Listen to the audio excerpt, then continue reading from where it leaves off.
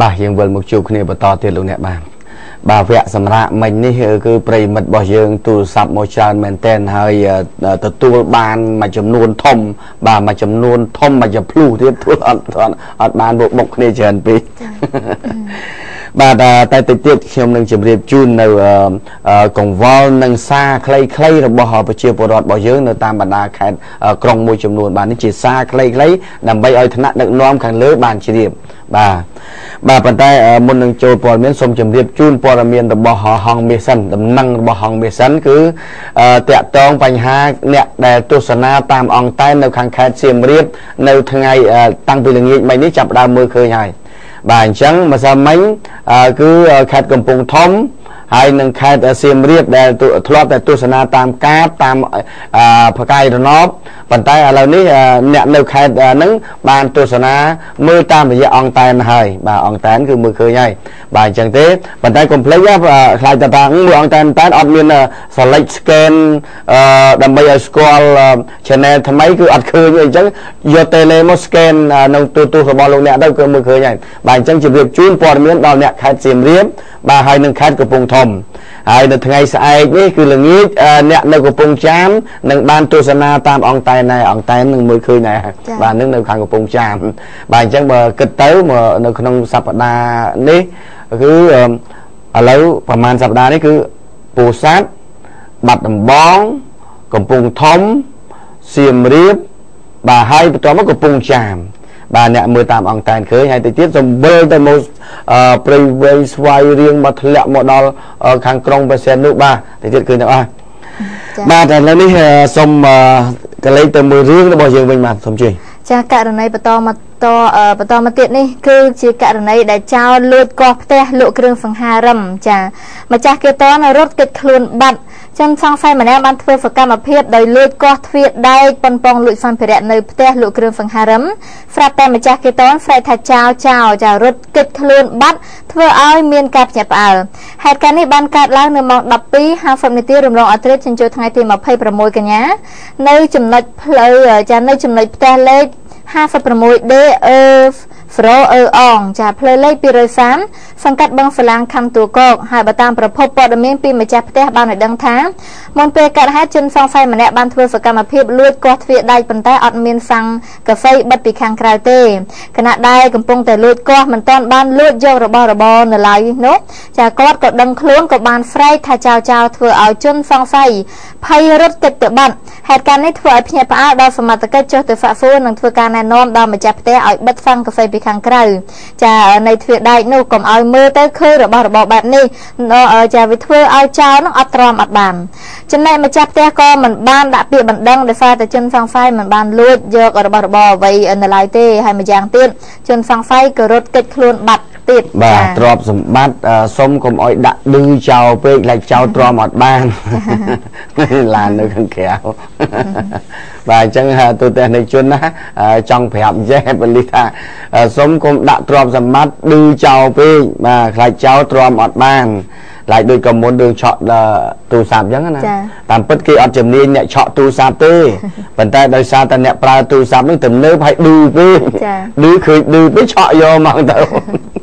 ពីចាប់បានទៅគាត់ឆ្លើយអញ្ចឹងតាតាតែមួយរឿងចាមួយរឿងទៀតករណីគ្រោះថ្នាក់ចរាចរណ៍បរោះម្នាក់គឺរងរបួសចាពកលើចិញ្ចើមខាងឆ្វេងដេកដួលសន្លប់បាត់បង់ស្មារតីនៅចិញ្ចើមផ្លូវមុខផ្ទះប្រជាពលរដ្ឋបន្ទាប់ពីបើកម៉ូតូប្រកបដោយជាតិស្រវឹងនៅក្នុងខ្លួនហេតុការណ៍នេះកើតឡើងនៅម៉ោង7យប់ថ្ងៃទី25កញ្ញានៅតាមបណ្ដោយផ្លូវកៅស៊ូភូមិត្រពាំងចកសង្កាត់សង្កាត់ព្រៃវែងខណ្ឌដង្កោ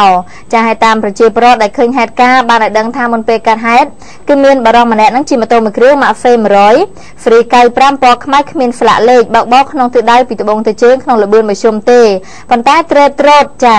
ជាលក្ខណៈមនុស្សស្រវឹងស្រាលុះធ្វើដំណើរមកដល់ចំណុចកាត់ហេតុស្រាប់តែម៉ូតូធ្លាក់ចិញ្ចាំផ្លូវធ្វើឲ្យម៉ូតូដួលក្រាំងតែម្ដងបណ្ដាលឲ្យអ្នកបើកបរនោះ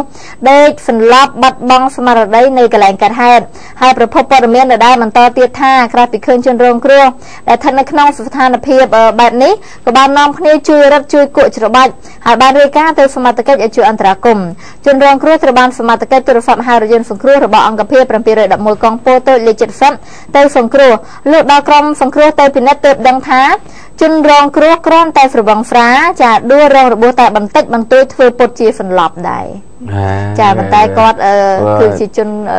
សន្លប់ធ្វើពុតជាសន្លប់យើងកាត់ដួលទៅហើយគេបែកមុខបែកមាត់ទៅហើយទេ គាត់សើចដាក់គេអឺចាគឺគាត់ជាមនុស្សដែលមិនទឹកចាមិនប្រកដីចាចា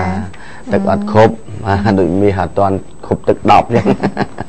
តើទៅទៀតចាមករឿងទៀតនេះគឺជិះម៉ូតូចាខ្ទាតទឹកជិះម៉ូតូខ្ទាតទឹកទៅលើកងរាជអាវុធហត្ថកម្បូលបាញ់ពីរគ្រាប់វារោរបួសធ្ងន់2នាក់និងស្រាម្នាក់ គ្រាន់តែរឿងខ្ទាតទឹកដក់តាមចិញ្ចើមផ្លូវហ្វាចទឹកបន្ហ្វាចទៅទឹកបន្តិចតែប៉ុណ្ណោះមន្ត្រីកងរាជអាវុធហត្ថសាលាវឹកវែនកម្បូលបានបាញ់ពីរគ្រាប់និងវាយតប់បណ្ដាលឲ្យរងរបួសធ្ងន់2នាក់បងប្អូនជីដូនមួយនិងរងរបួសស្រាលស្ត្រីម្នាក់ហេតុការណ៍នេះភ្ញាក់ផ្អើលនៅវេលាម៉ោង9:05នាទីយប់ថ្ងៃទី25កញ្ញានៅលើកំណត់ផ្លូវជាតិលេខ4នៅចំណុចដីវាលភូមិត្រពាំងគុលសង្កាត់កន្ទោកខណ្ឌពោធិ៍សែនជ័យជនរងគ្រោះមានឈ្មោះថាដិតភក្តីអាយុ ចាគឺ27ឆ្នាំមុខរបរជាបុគ្គលិកអេហ្វិតធ្វើការនៅបញ្ជោបង់ប្រាក់កម្ពូលរបួសបាក់ធ្មេញអស់10ចឹងនឹងនឹងបែកមុខបែកមាត់នឹងប្អូនជីដូនមួយឈ្មោះថាផលសុភ័ក្រអាយុនឹង16ឆ្នាំភេទប្រុសជា first ថ្នាក់ទី9នៅវិទ្យាល័យកម្ពុជារងរបួសបែកមុខបែកមាត់ចាអឺដែលស្នាក់នៅភូមិត្រពាំងគុលសង្កាត់កន្ទោខណ្ឌពោធិ៍សែនជ័យបើតាមប្រភពព័ត៌មានពីជនរងគ្រោះឈ្មោះដិតភក្តីបានឲ្យដឹងថាមុនពេលដែលកាត់ហេតុប្អូនប្រុសឈ្មោះផនសុភ័ក្របានជាម៉ូតូស្គូពីប្រកកាឈូកមិនចាំស្លាកលេខទៅលេង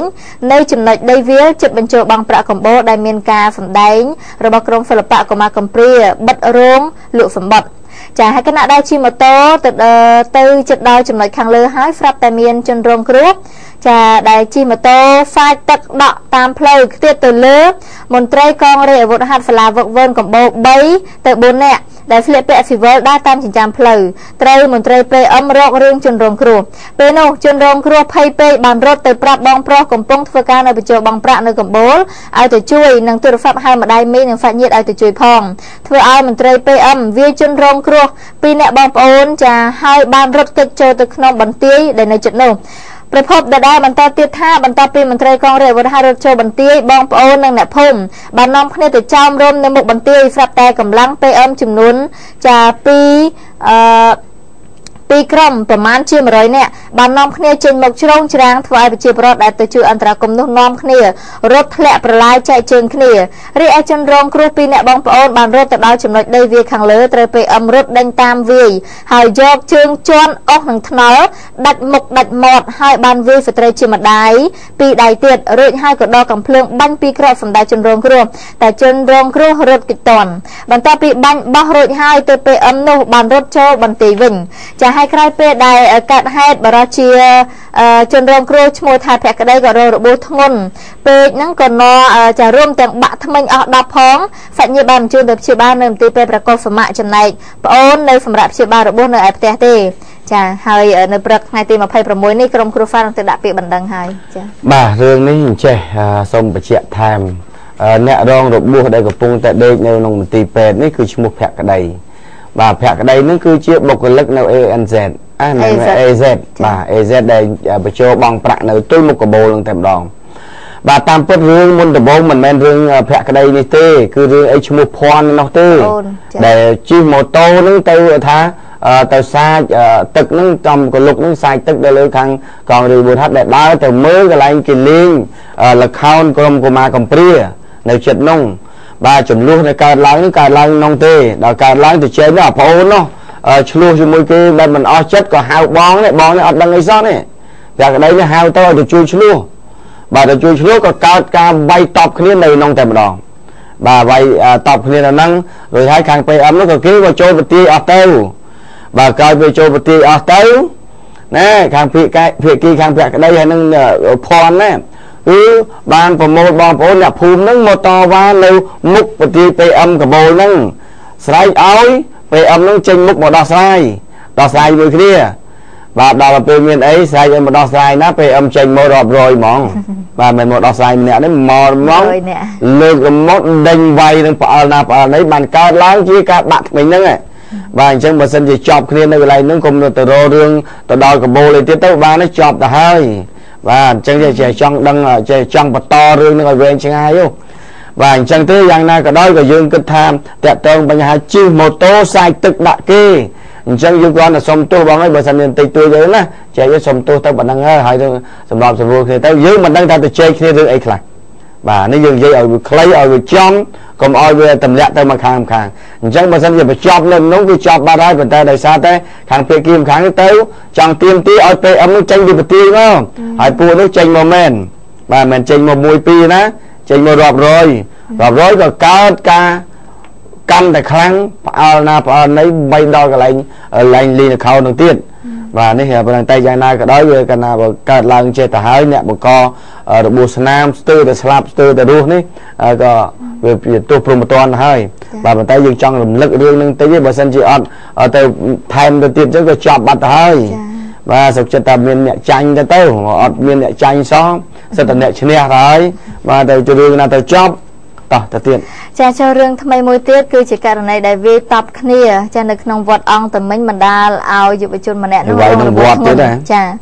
យុវជនក្រុមវាតមួយក្រុមគឺវាតបគ្នានៅក្នុងវត្តអង្គតមិញធ្វើឲ្យជនរងគ្រោះម្នាក់រត់គេចទៅបុកនឹងរូបសំណាក់សត្វដំរីបណ្ដាលដួលបែកក្បាលរងរបួសធ្ងន់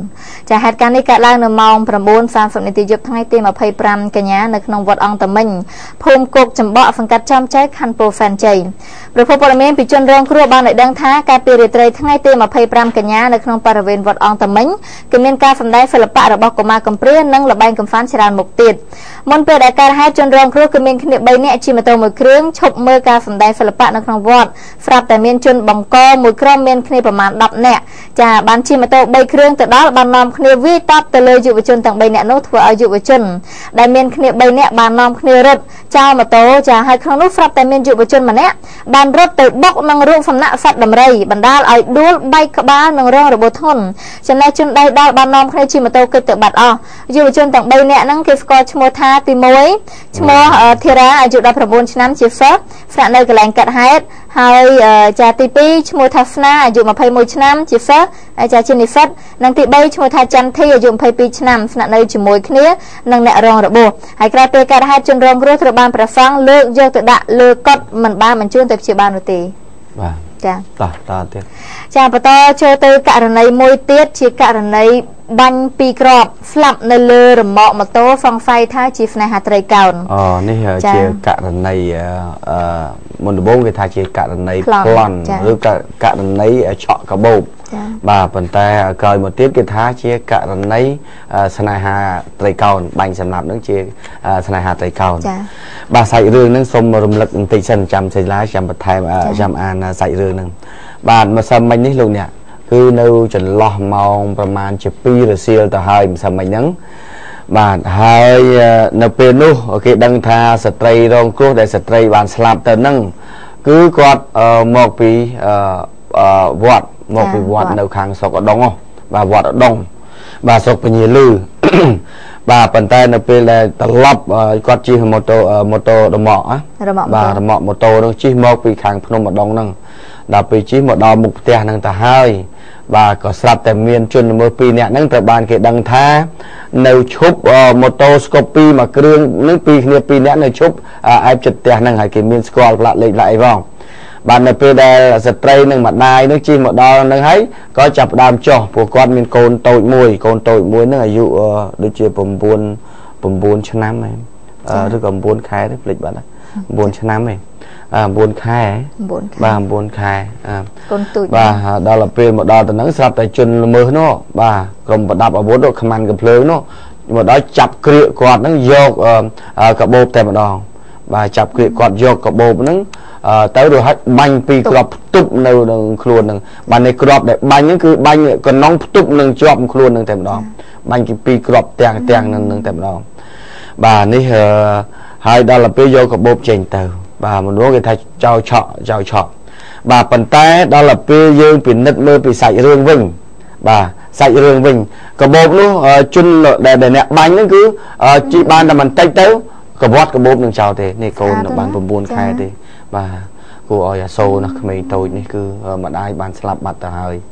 បាទនេះគឺជាម្ដាយរបស់ស្ត្រីដែលបានស្លាប់ទៅចា៎ បាទអញ្ចឹងគាត់គិតថារឿងនេះមិនមែនជាករណីឆក់កាបូបបាទមិនមែនជាករណីប្លន់ទេ បាទគឺជាករណីស្នេហាត្រីកោណហេតុអីបានជាប៉ូលីសធ្វើការសន្និដ្ឋានបែបនេះពីព្រោះផ្ទះរបស់នាងដែលមកទីហ្នឹងណាគឺជាផ្ទះជួលទេ មិនមែនផ្ទះរបស់នាងទេ បាទហើយអឺនាងជាប្រពន្ធចុងគេម្នាក់ទៀតបាទ បាទអញ្ចឹងបានន័យថាផ្ទះនេះជួលហើយនាងត្រូវជាប្រពន្ធចុងគេបាទអញ្ចឹងហើយបានជាប៉ូលីសធ្វើការសង្សន្និដ្ឋានថាជាករណីស្នេហាត្រីកោណពីព្រោះធម្មតាក្រុមប្លន់ដែលក្រុមឆក់វាមិនអាចគិតថាពេលគាត់តែកបោបមួយទៅប្លន់បាញ់ពីរគ្រាប់រហូត3គ្រាប់ដើម្បីសម្លាប់បានថាឲ្យស្លាប់តែម្ដងដើម្បីកុំឲ្យមានអីដែលត្រូវប៉ូលីសធ្វើការធ្វើការស្រាវជ្រាវមានផុសតាង បាទអញ្ចឹងបាញ់ឲ្យងាប់តែម្ដងបាទបើសិនជាក្រុមចោលលួចចោលប្លន់ទៅអីជួនកាលពេលខ្លះឃើញស្ត្រីអញ្ចឹងគ្រាន់តែបាញ់គម្រាមអីប៉ុណ្ណឹងឬក៏បាញ់ឲ្យត្រូវរបួសជើងអីចឹងទៅបាទប៉ុន្តែនេះគឺគោលដៅគឺបាញ់ជិចនៅជាប់នឹងនឹងសាច់តែម្ដងគឺឲ្យ ស្លាប់តែម្ដងមិនអាចឲ្យនៅរស់នេះកាមេរ៉ាសុវត្ថិភាពបាទអញ្ចឹងមានគេចាប់ឲ្យកាមេរ៉ាសុវត្ថិភាពដែរខ្ញុំនឹងតែចាំមើលមានរូបភាពនឹងអត់បាទឥឡូវមើលសាច់រឿងមើលសិលាចាគឺស្ត្រីវ័យក្មេងម្នាក់ត្រូវខ្មាន់កំភ្លើងបាញ់ពីក្របស្លាប់នៅលើរមាក់ម៉ូតូខណៈដែលត្រឡប់មកពីវត្តនៅភ្នំឧដុង្គមកដល់មុខផ្ទះជួលដែលស្ថិតនៅតាមបណ្ដោយផ្លូវលេខការ 4B ក្រុម7ភូមិទឹកថ្លាសង្កាត់ទឹកថ្លាខណ្ឌហ្វេនសុកហេតុការណ៍បាញ់សម្លាប់ សង្ស័យថាករណីគំនុំពាក់ព័ន្ធនឹងស្នេហាត្រីកោណនេះភ្ញាក់ផ្អើលនៅម៉ោង2រសៀលថ្ងៃ25កញ្ញាចាហើយបន្ទាប់ពីហេតុការណ៍ក្តៅកគុកមួយបានកើតឡើងភ្លាមនោះលោកម៉ុកហុងម៉ាក់ហុងអធិការខណ្ឌហ្វេនសុកបានដឹកនាំកម្លាំងចុះទៅដល់កន្លែងកាត់ហេតុរកឃើញសម្បកកទុះបន្សល់ទុកនៅកន្លែងកាត់ហេតុចំនួន2គ្រាប់ប្រពន្ធព័ត៌មានពីសមត្ថកិច្ចខណ្ឌហ្វេនសុកបានឲ្យដឹងថាស្ត្រីរងគ្រោះមានឈ្មោះពេជ្រដាលីនអាយុ23ឆ្នាំរបស់មេផ្ទះអតីតជានារីម៉ាហ្វានៅសន្តាគារភ្នំពេញដែលស្នាក់នៅផ្ទះជួលកាត់ហេតុខាងលើមានប្តីឈ្មោះហ៊ុនចម្រើនអាយុជាង30ឆ្នាំមុខរបរទាហាននិងរកស៊ីមានទីលំនៅនៅខេត្តសៀមរាបនិងមានកូនប្រុសម្នាក់អាយុ9ខែបើតាមស្ត្រីឈ្មោះឈុំឈឿនអាយុ60ឆ្នាំមុខរបរមេផ្ទះជាម្ដាយរបស់ឈ្មោះពេជ្រដាលីនបានឲ្យដឹងថាកូនស្រីរបស់គាត់រស់នៅជាមួយនឹងប្តីឈ្មោះហ៊ុនចម្រើនមិនបានរៀបការត្រឹមត្រូវអីនោះទេគឺរស់នៅជាប្តីប្រពន្ធជាមួយគ្នាតាំងពីឆ្នាំ2012មកក្នុងឋានៈជាប្រពន្ធចុងរបស់ប្តីទៅទៀតចាហើយនៅព្រឹកកើតហេតុនេះគាត់និងកូនស្រីព្រមទាំងចៅប្រុសចាបានជិះរមាក់ម៉ូតូមួយគ្រឿងម៉ូតូ Max City Plus ពណ៌ក្រហមពាក់ស្លាកលេខភ្នំពេញ 1AV 18 87ទៅធ្វើចង្ហាន់ទៅប្រគេនព្រះសង្ឃនៅឯវត្តនៅភ្នំឧដុង្គដែលស្ថិតនៅក្នុងស្រុកពញាលឺខេត្តកណ្ដាលបានធ្វើដំណើរចេញទៅតាំងពីម៉ោង9ព្រឹករហូតដល់ម៉ោង2រសៀលទៅធ្វើដំណើរត្រឡប់មកវិញដល់មុខផ្ទះស្ត្រីជាម្ដាយបាន3ចៅប្រុសចុះពីលើរមាក់ម៉ូតូដើរទៅចាក់សោផ្ទះ ស្រាប់តែជនសង្ស័យពីរនាក់ជិះម៉ូតូស្កូប2ពណ៌សពាក់ស្លាកលេខភ្នំពេញ 1AI 9846បានឈប់ចាំនៅចិត្តកន្លែងកាត់ហេតុនោះស្រាប់តែចាស្រាប់តែជនដៃដល់ម្នាក់បានដើរទៅជិតរមាក់ម៉ូតូហើយបន្លំធ្វើជាឆក់កបោស្ត្រីរងគ្រោះហើយបានចាប់ទាញស្ត្រីអោបបាញ់ផ្ទប់ចំនួន2គ្រាប់ផ្ទួនគ្នាបណ្ដាលឲ្យដួលស្លាប់នៅលើរមាក់ម៉ូតូតែម្ដងទើបជនសង្ស័យជិះម៉ូតូចេញទៅបាត់ហើយប្រភពព័ត៌មានបានដឹងថាស្ត្រីរងគ្រោះជាប្រពន្ធចុងគេហើយបរិសុទ្ធជាប្តីមិនសូវមកនៅផ្ទះនោះទេមួយអាទិត្យឬក៏កន្លះខែទើបគាត់ត្រឡប់មកផ្ទះម្ដងមិនតែប៉ុណ្ណោះប្តីប្រពន្ធមួយគូថ្មីនេះគឺមានភាពចារកម្មរកោសគ្នាហើយប្រពន្ធសុំលែងលះតែបរិសុទ្ធជាប្តីមិនព្រមលែងតើតិននឹងការបាញ់នេះប្រហូបព័ត៌មានក្រៅផ្លូវការបានសន្និដ្ឋានថាជារឿងគំនុំស្នេហាត្រីកោណអ្នកឃើញហេតុការណ៍នេះបានឲ្យដឹងថាជនដៃដល់ទាំងពីរអ្នកនោះគឺអ្នកបើកម៉ូតូពេលអាវពណ៌ក្រហមដៃវែងនិងអ្នកជិះពីក្រោយជាជនដៃដល់ពេលអាវពណ៌សដៃវែងបានឡើងជិះម៉ូតូគិតខ្លួនបានប្រមាណ500ម៉ែត្រ បានក្រវត្តចោលកាបូបដែលឆក់ពីស្ត្រីរងគ្រោះចោលចាត្រូវសមត្ថកិច្ចទៅរើសយកមកវិញគឺមិនឃើញមានអ្វីនៅក្នុងកាបូបនោះទេលោកអធិការខណ្ឌសែនសុកបានអះអាងថាជាការបាញ់ប្រហារចាថាការបាញ់ប្រហារនេះចំនួន2គ្រាប់ចំចំពោះធ្លាយទៅឲ្យចង្កេះខាងឆ្វេងនិងមួយគ្រាប់ទៀតចំចុងដង្ហើមធ្លាយទៅបោះដៃផុតខាងឆ្វេងសពតម្កល់ទុកនៅក្នុងផ្ទះកាត់ហេតុរងចាំសមត្ថកិច្ចជំនាញចុះទៅពិនិត្យរួចបកគលឲ្យម្ដាយយកធ្វើបន់តាមប្រពៃណីចា៎ បាទអញ្ចឹងយើងស្ដាប់សម្ដីរបស់ម្ដាយជនរងគ្រោះបាននិយាយឲ្យថាកន្លងមកនេះដីប្រពន្ធមកគូនេះគឺធ្លាប់ឆ្លោះទាស់តែងគ្នាដល់កម្មរកោហើយភាគីខាងអ្នកស្លាប់នេះអ្នករងគ្រោះនេះបានសុំគាត់លែងយូរហើយដោយសារតែប្រហែលជាអាចមានគំនាបពីខាងប្រពន្ធរបស់គាត់កណោ បាទអញ្ចឹងទេសុំឲ្យលេងលះឲ្យដាច់ទៅប៉ុន្តែខាងនោះចេះតែអត់ដាច់ចេះតែមកអញ្ចឹងទៅបាទប៉ុន្តែទីបំផុតឥឡូវនេះគនាងត្រូវបានស្លាប់ទៅហើយដោយសម្លៀកបំពាក់ទៅទៅមកពីវត្តបាទទៅដាក់បិណ្ឌដាក់អីផងទី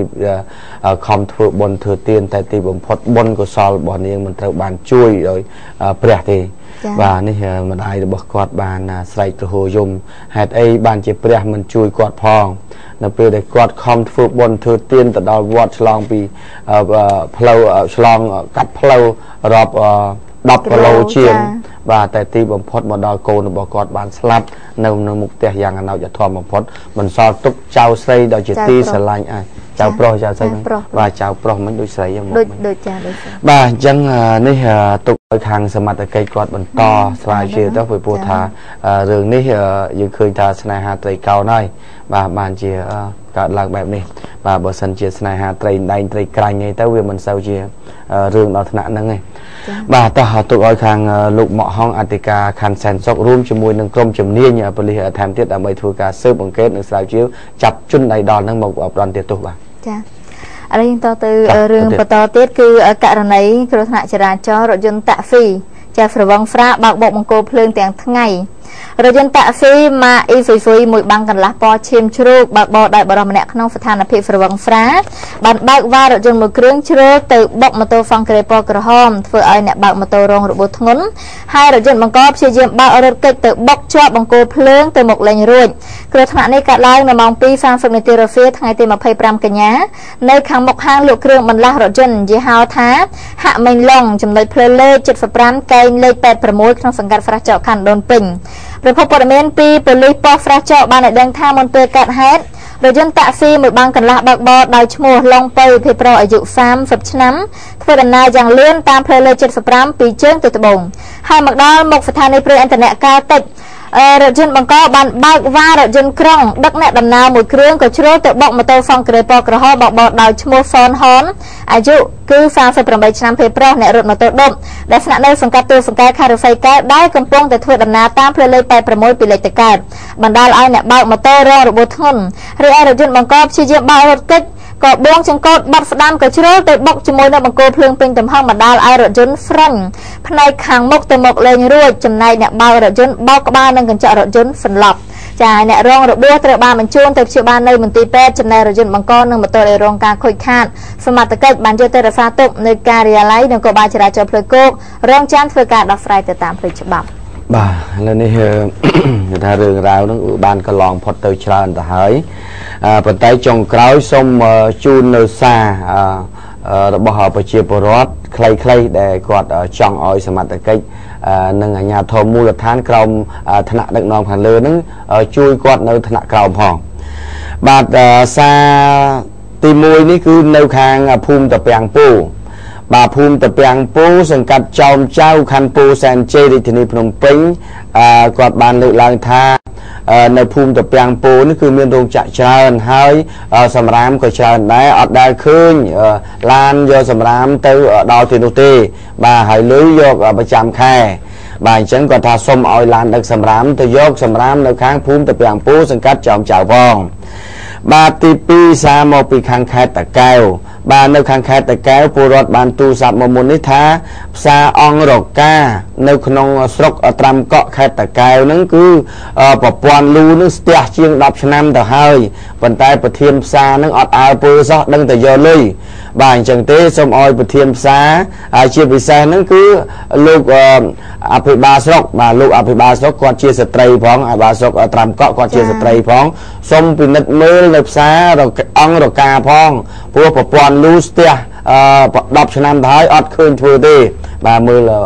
ខាងប្រធានផ្សារផងចា៎ បាទហើយនៅខាងពូសัตว์ឯនោះវិញនៅខាងពូសัตว์ឯនោះវិញគាត់បានលើកឡើងបញ្ហាសម្រាមដែរថានៅក្នុងគាត់សុំនិយាយនៅក្នុងទីរួមខេត្តតែម្ដង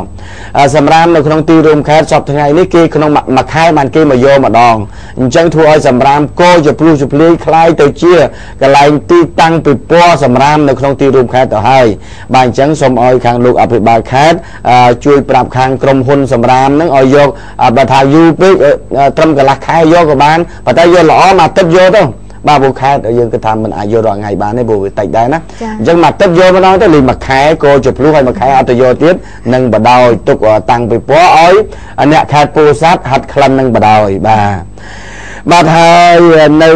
មួយទៀតបាទមានគេជ្រើគេរើសបានអត្តសញ្ញាណប័ណ្ណមួយបាទហើយអត្តសញ្ញាណប័ណ្ណនេះឈ្មោះថាឡុងមករា បាទអាលោកឡុងមករាអើយបើបានដឹងថាខ្លួនឯងបាត់អត្តសញ្ញាណប័ណ្ណហើយទៅយកទៅនេះគេរើសបានហើយណាលោកឡុងមករាគឺអត្តសញ្ញាណប័ណ្ណរបស់លោកដាក់នៅភូមិស្រុកកំណើតនៅភូមិព្រៃព្រៃមុកបាទភូមិភូមិព្រៃមុក ឃុំស្រែរនោងស្រុកត្រាំកក់ខេត្តតាកែវបាទហើយបើសិនលោកអ្នកការាបានឃើញបានលឺហើយបានស្ដាប់បានហើយបានដឹងហើយសូមទៅតាក់ទងយកតសញ្ញាណបានខ្លួនឯងវិញដោយតាក់ទងតាមលេខទូរស័ព្ទ012 709 364បាទហើយចំណុចទី3បន្ទាប់មកទៀតបាទសារបន្ទាប់មកទៀតបាទសារមួយទៀតនេះគឺសារតាក់ទងបញ្ហាអឺ កុងត្រូលជជុះនៅផ្លូវជាតិលេខ3អឺគឺចេញពីខាងវាលរិញមកខាងខេត្តតាកែវវិញបើចេញពីវាលរិញមកខេត្តតាកែវវិញគេថាកុងត្រូលជជុះច្រើនណាស់នៅផ្លូវហ្នឹងបាទហើយកុងត្រូលនេះគឺមិនយកថ្លៃទេឡានតាក់ស៊ីមួយយក3យក4000 5000នេះហ្នឹងប៉ុណ្ណឹងឯងប៉ុន្តែដោយសារតែកុងត្រូលនេះវាច្រើនពេកចូលជួយ20កន្លែងអីចឹងទៅ4000នេះគុណទៅឃើញហើយបាទអញ្ចឹងគាត់ថាកុំឲ្យកុងត្រូលច្រើនពេកសូមអាជ្ញាធរមើលផង បាទសូមមើលផ្លូវផងនេះនៅខាងខេត្តខេត្តតាកែវចេញពីខាងវាលរេងមកវិញបាទហើយនឹងមួយទៀតមិញនេះខាងក្មួយស្រីឬក៏បងស្រីទេគាត់ថាឥឡូវនេះហាងឆេងហាងឆេងប្រឡងគ្រូឧត្តមឧត្តមសិក្សាបរិញ្ញាបាទគ្រូឧត្តមហាងបរិញ្ញាបូក1 បាទគ្រូឧត្តមបញ្ញាបុក1ហ្នឹងគឺស្ដាប់ឮហាងឆេងមិនផ្លូវការនោះគឺថា3000ដុល្លារបានជាប់បាទនេះខាងអឺបងស្រីឬក៏ប្អូនស្រីទេមិញគាត់ថាគាត់ប្រឡងថ្ងៃ29ខែកញ្ញាហ្នឹងហើយប៉ុន្តែដោយសារខ្លួនវាអត់មានលុយដល់លឺហាងឆេងថា តតែ3000ដុល្លារបានជាប់គាត់ថាអត់ចង់ទៅប្រឡងបាទអញ្ចឹងទេនេះទុកលទ្ធភាពឲ្យខាងក្រសួងអប់រំគាត់ពិនិត្យមើលពីពោះជួនកាលពេលខ្លះអាចលេចលឺគាត់អត្តពាក្យសម្ដីតែមិនមែនជាការពិតទេណាបាទហ្នឹងគ្រាន់តែប៉ុណ្ណឹងទេនេះគ្រាន់តែជាកង្វល់ហើយនឹងសារខ្លីៗជូនដល់ថ្នាក់ដឹកនាំឲ្យបានជាថាកង្វល់របស់គាត់គាត់ជម្រាបមកអញ្ចឹងបាទឥឡូវនេះសម្រាប់ពេលនេះសូមពេលសម្រាប់បន្តិចសិនតិចទៀតយើងវិលមកជួបគ្នាបន្ត